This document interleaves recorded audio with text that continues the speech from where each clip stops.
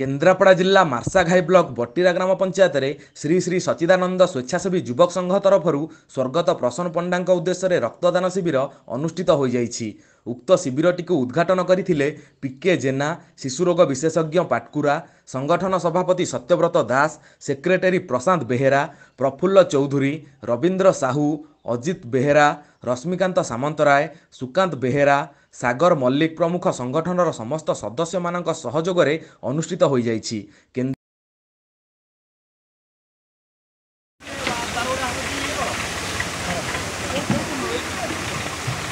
କେନ୍ଦ୍ର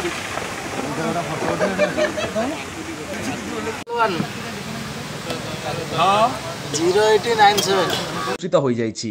କେନ୍ଦ୍ରାପଡ଼ାରୁ ନମିତା ନାୟକଙ୍କ ରିପୋର୍ଟ ଜାତକ ବିଚାର ବାସ୍ତୁ ବିଚାର ମାଟି ପରୀକ୍ଷା ପାଇଁ ସମ୍ପର୍କ କରନ୍ତୁ। ସାଧକ ନାଗାନନ୍ଦଙ୍କୁ।